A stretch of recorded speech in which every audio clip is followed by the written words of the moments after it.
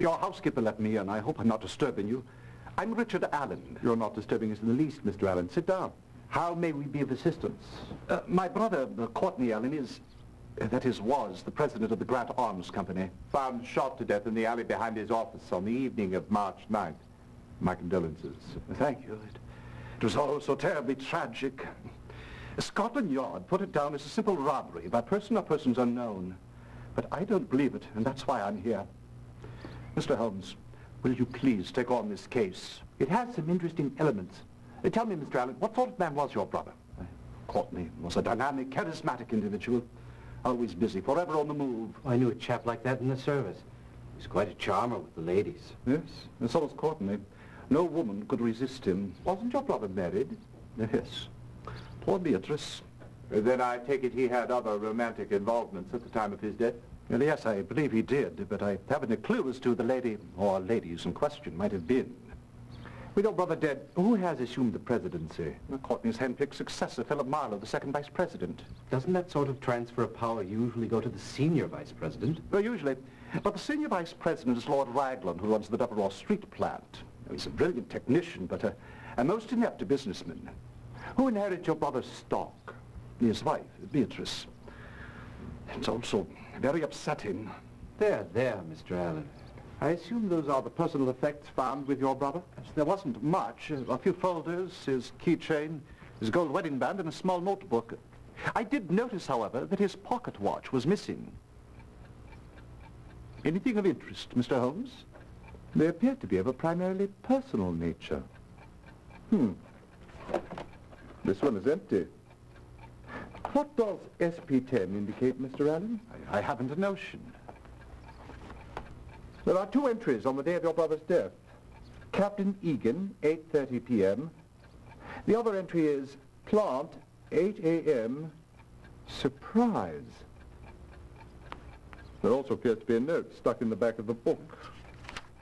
Written in your brother's hand. It says, meet me tonight at Spaniards at 10 o'clock, followed by the initials A.M. Spaniards. I positively salivate over their paella. Yes, it is very good indeed. Thank you, Mr. Allen.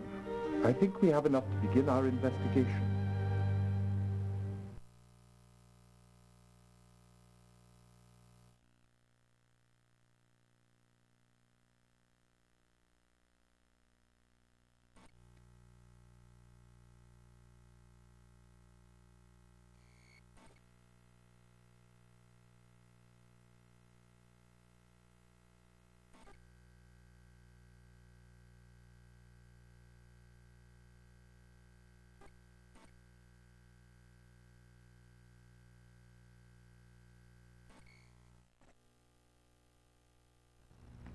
We're sorry to inconvenience you, Mr. Camp, but we need to ask you a few questions.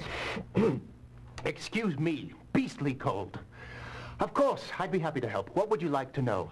Specifically, why you were removed from Project 10. Our Lord Raglan simply assigned me elsewhere. Since Project Number 10 was well along, he felt I might be more useful in other areas. Is that all he told you? Well, he also mentioned that my visits to the French embassy had been misinterpreted in some quarters. What brings you to the embassy so frequently? I am secretly engaged to Annette Zobar, daughter of the Vice Consul. Lovely girl. Unfortunately, her father, Paul Zobar, is not awfully fond of me. Her uncle, Emile, however, is sympathetic to us. Since I work for an arms company and he is the military attaché, my visits there are ostensibly to see him. Have you ever discussed Project 10 with Monsieur Zobar? Oh, no, I would never. you should cut back on your smoking until you are well. Ah, but I don't smoke. Then to whom do these belong? Oh, I bought those as a birthday gift to Emile Zobar. Burns and Hill are his favorite.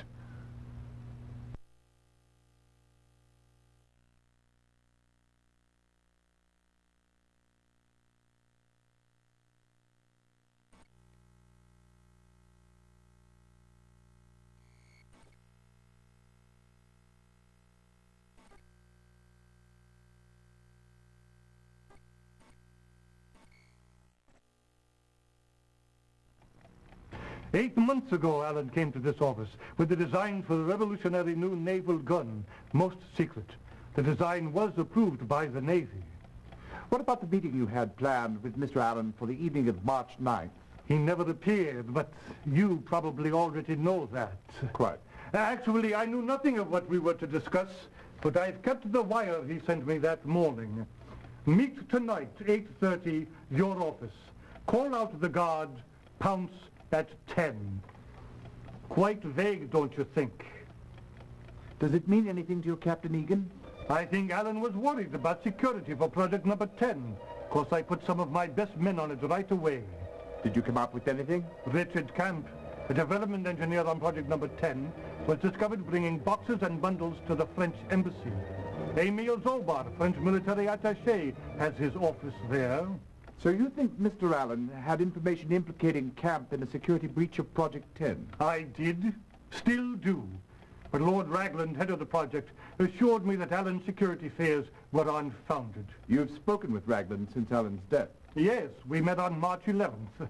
As a precaution, he assured me he would remove Camp from the project.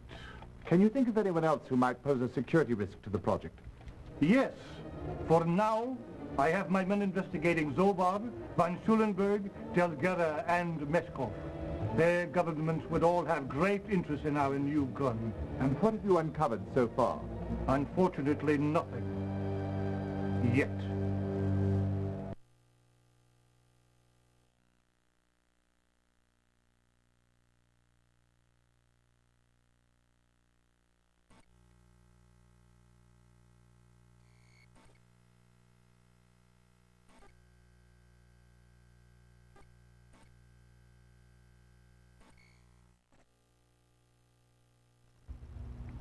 Mr. Lindhart, I understand Mr. Allen was scheduled to meet with Captain Egan at 8.30.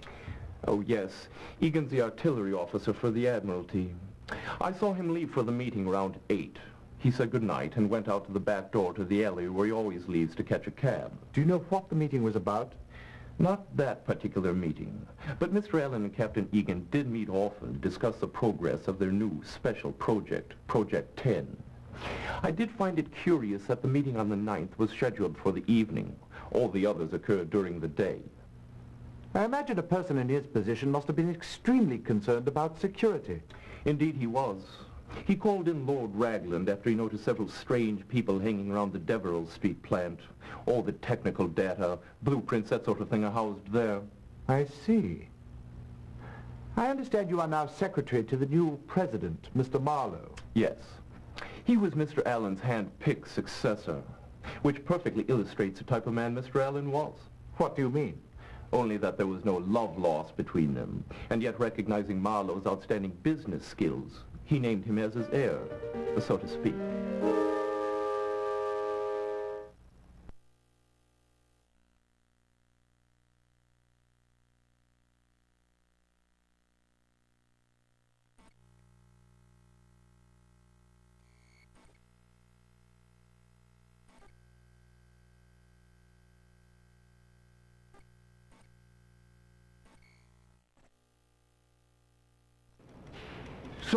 Lord Raglan isn't available at the moment.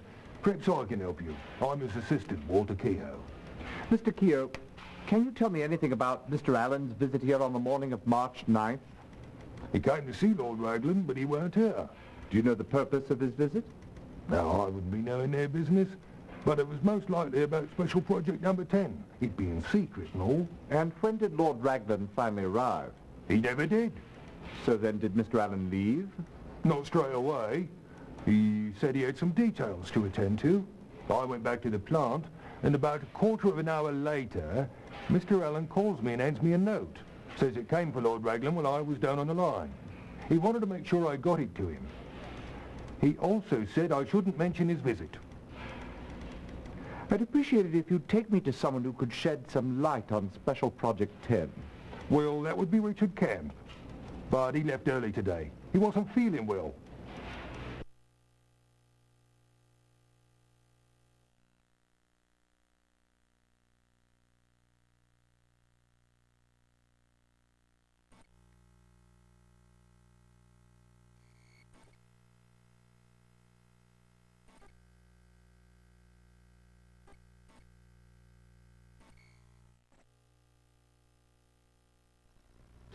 I'm surprised you're wasting your time on this one, Holmes.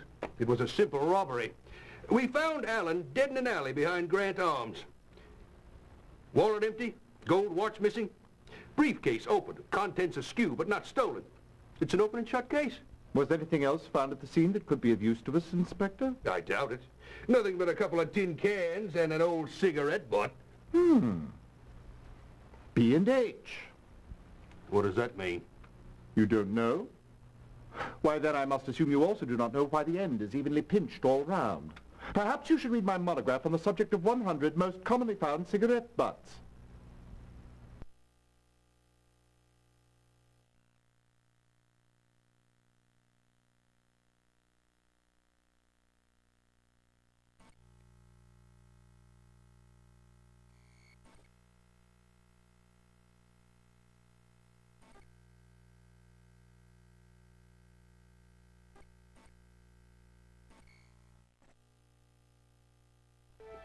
Would you care for a cigarette? They're Burns and Hill's Imperials. A wonderful smoke. Thank you, no.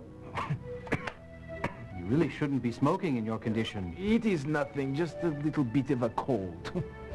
Tell me, Monsieur Zobar, where were you on the evening of March 9th? Ah, yes. That was the night of Monsieur Allen's death. I was at Simpson's, beating the pants off of Alfie, the so-called chess champion. Are you acquainted with a Mr. Richard Camp? Oh, but of course.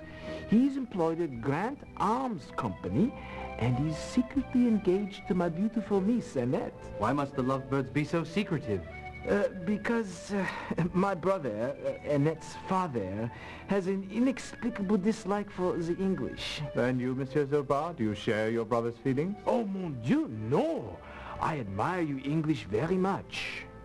Has Mr. Camp ever spoken with you about the special project on which he was working for grants? Oh, never.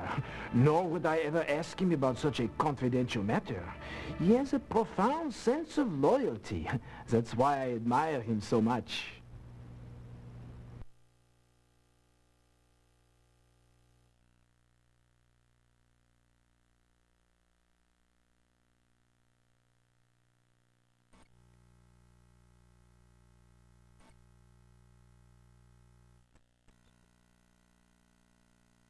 Hear ye, hear ye. The Queen's Court stands in order. So it's you again. Well, it's always a pleasure to have this court graced with your presence. So I see you're here to solve the murder of Courtney Allen. You weren't satisfied with Scotland Yard's robbery theory, I see? All right, then. Who murdered Courtney Allen? Uh, remember, you're to choose from either your notebook or the directory.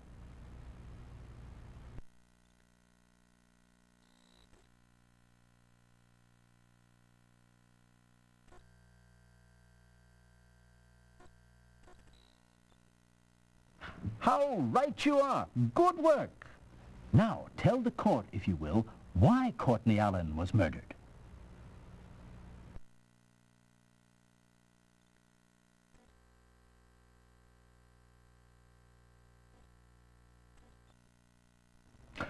Good show.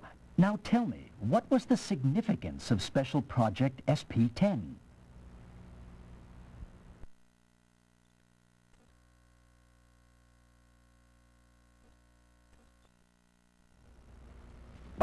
George, I think you've got it. Now tell us, if you can, what transpired at Spaniard's Inn.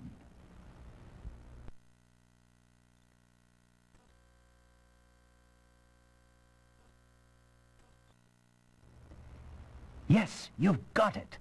Now tell us, what was Richard Camp actually doing during his numerous visits to the French embassy?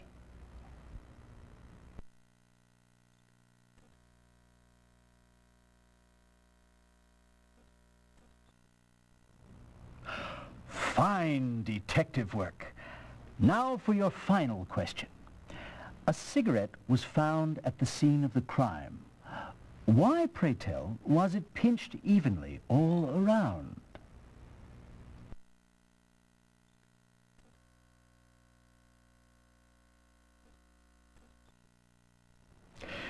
Excellent job. You've solved the case to my satisfaction. Court is recessed. Until the next time, of course.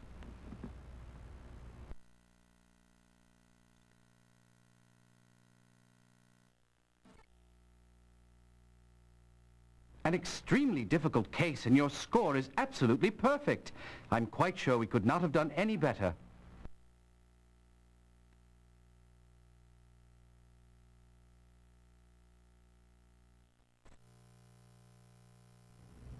Lord Ragland. Most shocking, isn't it? I must commend you for following your instincts, Mr. Allen. Because you doubted Scotland Yard's original findings regarding your brother's death, we were able to catch the murderer. But tell me, Mr. Holmes, how did you solve this case? In the first place, I found it unlikely that a common criminal would have overlooked a valuable gold ring. In the second place, simple robbery would not explain the missing contents of the SP-10 folder. Those documents were central to the murder. It then became a simple matter to cull two suspects from the customer list of Burns and Hill Imperial brand smokers. Burns and Hill. But that was the brand of cigarette found at the scene, and the list we obtained had quite a few names. It was fascinating to see the way Holmes narrowed it down. You flatter me, Watson. It was nothing, really. In the first place, I knew the murderer had to be someone aware of Courtney Allen's habit of exiting his office via the alleyway. That made the most likely suspect a co-worker. Of the gentlemen on the list, only Lord Ragland and Richard Camp fit that category. But how did you narrow it down to Ragland? Elementary, Mr. Allen. Mr. Camp does not smoke. He purchased the cigarettes as a present for Emile Zobar. But why did Ragland do it? After learning of your brother's surprise visit to the plant, Ragland knew the proverbial jig was up. He realized Courtney had removed the plans for Project 10 from the safe, the very same plans he had intended to sell that night to the Russian attaché. The only solution was to kill your brother and reclaim the plans. Case closed. Uh, thank you, Mr. Holmes. Now, Courtney may no longer be with us, but it does serve as a small consolation to know that his murderer will get his due. Indeed. And we may all rest more easily knowing that England will suffer no more breaches of security at the hands of that traitor. Isn't that so, Holmes? Quite. Quite.